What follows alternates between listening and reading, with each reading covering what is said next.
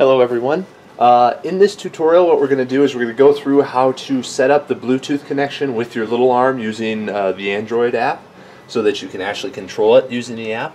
Uh, the first thing you want to do is actually pair the two devices and in order to do that you're going to want to go into settings, uh, select Bluetooth, make sure Bluetooth is turned on and then you'll want it's searching for available devices right now. Uh, I'll let it finish up the search.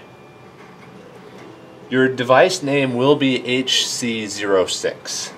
So I'm going to go ahead and select that one since it's the only one I have uh, turned on right at the moment. Um, it's going to ask for a PIN number and the PIN number is 1234. 1234. If that doesn't work, try 0000, um, but it's generally 1234. Say OK. Okay, so now we're paired, um, which means that the Android device has the Bluetooth connected and stored in its memory so it knows its IP address and it can actually connect to it through an app. So now we can go to the actual app itself. Go ahead and open up the Little Arm app here. And then we're going to go ahead and select Connect to Bluetooth. And it's only got one option up here. If you have multiple Bluetooth devices, there may be more options. But just look for the one that ends with HC06 right there. Select it. Let it load up. And now you'll see that this little light has just gone solid. A minute ago it was blinking. Here, I'll go ahead and kill the app and we'll uh, let you see this. Uh, there we go. Now you can see that the light is blinking again, which means it does not connect it to an app and is, doesn't have a stable serial connection there. So I'll go ahead and open up the app again, connect Bluetooth, connect that. It's blinking, blinking, blinking, and now it's solid.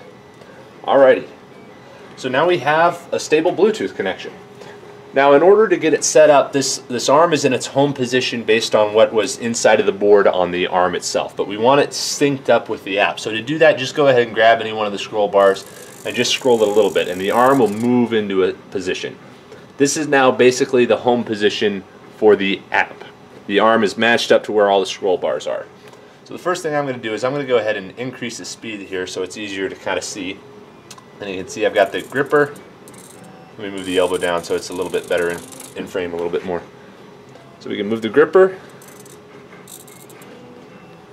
uh, move the shoulder, just like that, move the base, move the elbow, there we go.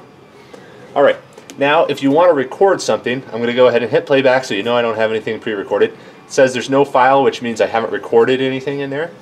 So what I'm going to do is I'm going to go ahead and just make it wave a little bit here. So you can go ahead, go up, record that waypoint, record that waypoint, record that waypoint, record that waypoint, and then play it back. And now we've got the arm kind of trained to wave and go back and forth. When it's all done with its recording, it goes back to a home position. So you can see it's right back here in a spot that I didn't really record. It went up and down and up and down, and then it came back to this spot. That is natural in the app. It always goes back to its main home position when the app is finished. And that home position will vary from one arm to the other based on how it was put together. Um, but you'll see it just by when you start up the app and see where it all centers on.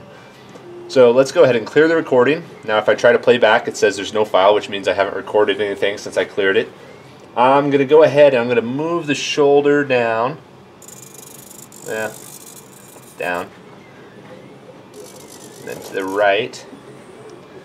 Record that, and then I'm going to go to the left and record that. So that's the last position in this recording. So that'll be the end of it, but then it will still go back to that home position. So let's go ahead and see that. So it moves here, it moves over there, and then it goes home. And that's all there is to it. Nothing too special about that. Alright, that's how to connect the Bluetooth app. Now it's paired. Anytime you open up the Little Arm uh, app, it'll be ready to go.